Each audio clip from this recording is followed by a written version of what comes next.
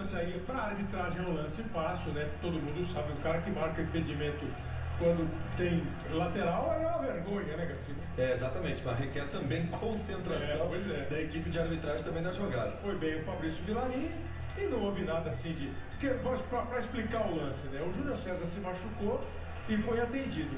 Antes dele ser atendido, o jogo continuou e a bola foi para fora naturalmente. Quer dizer, não houve. Ninguém deu a bola para ninguém. Foi para fora porque houve uma disputa entre o Cortez e, a, e o Tardelli, a bola foi para fora. E aí arremessa, né? O Percebam que o, o, o assistente segue sempre na linha do penúltimo É. defensor, né? Ele O tá ali Ronaldinho foi, Ronaldinho foi buscar uma aguinha lá e lá ficou. Posso falar uma coisa? Claro, Caio. O Ronaldinho, na saída do primeiro tempo, falou que não foi ensaiado. É. Agora a gente repara no replay que